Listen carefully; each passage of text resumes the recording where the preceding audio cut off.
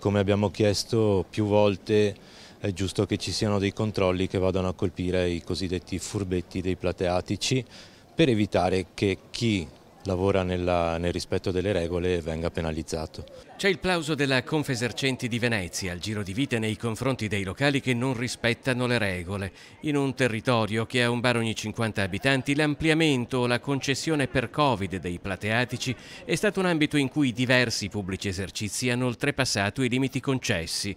Dall'inizio dell'anno, e non solo per questo motivo, le sanzioni sono arrivate in 26 casi alla sospensione dell'attività. Siamo arrivati alla chiusura di alcune attività perché queste persone erano state già avvisate più volte e come ho detto prima è giusto nei confronti di, degli esercenti che, che lavorano nella legalità.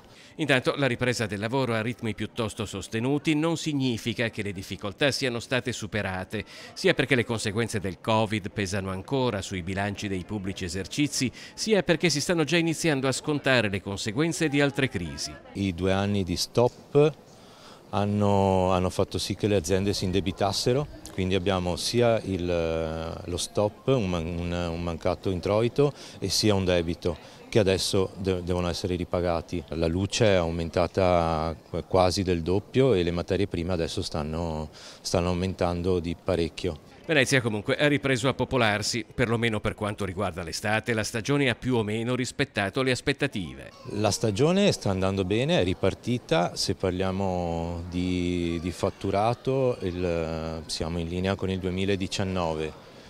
La, non abbiamo gli stessi riferimenti che avevamo un tempo perché questi due anni hanno scombussolato un po' i parametri. Diciamo che eh, dobbiamo, dobbiamo far sì che il livello del turismo si alzi, si alzi un po'.